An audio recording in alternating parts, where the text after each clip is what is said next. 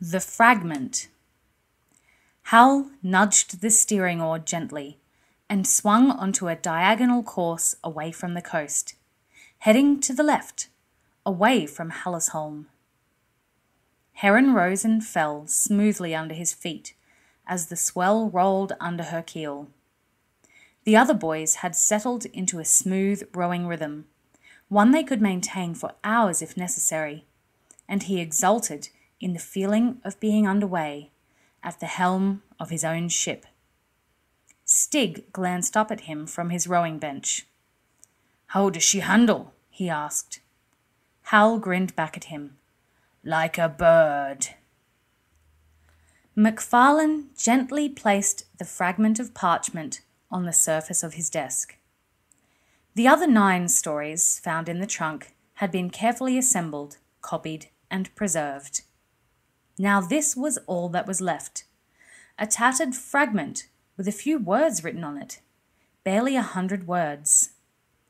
In places, the ink was so faint that he could barely decipher it.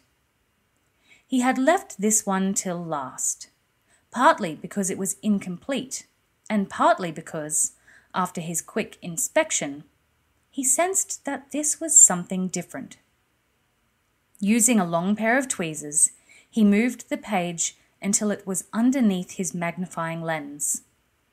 Then he leaned forward and peered at the words, his lips moving soundlessly as he read them, hesitating when he reached the fainter sections, and grateful for the strong light and the magnification. Finally, he sat back, drumming his fingers on the table. Audrey was sitting opposite him, in a fever of anticipation.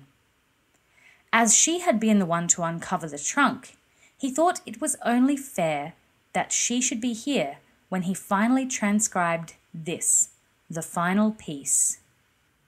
What is it, Professor? she asked. Is it important? There was no need for the second question, she thought. His expression and body language told her that it was. He looked at her. Yes, Audrey, as a matter of fact, it is. She waited, knowing that he would elaborate. After some seconds had passed, he continued. For some time now, those of us who have studied the world of Araluen and its heroes have been aware of another legend from that time. It's a legend of a young boy, half Araluen and half Skandian, who revolutionized the design of the Skandians' wolf ships, but we've known little about him. Audrey frowned thoughtfully. I think I recall a brief mention of him in the Chronicle of Will's journey to Nihon-Ja, she said thoughtfully, and the professor smiled at her. Precisely. But aside from that one fleeting reference, we've known nothing else about him. Now, it seems, we might have discovered a further clue to his story. This fragment, she said, nodding towards the tattered page on the desk between them. This fragment, he said, nodding. And if there is one page, there must have been others. And perhaps they still exist somewhere. Her eyes widened in excitement. Do you think we could find the rest of his story, Professor? she asked.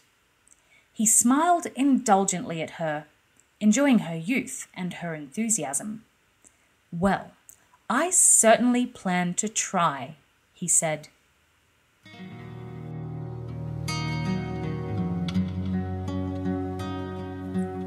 You have been listening to Ranger's Apprentice, Book 11 The Lost Stories, read by Australian Audiobooks.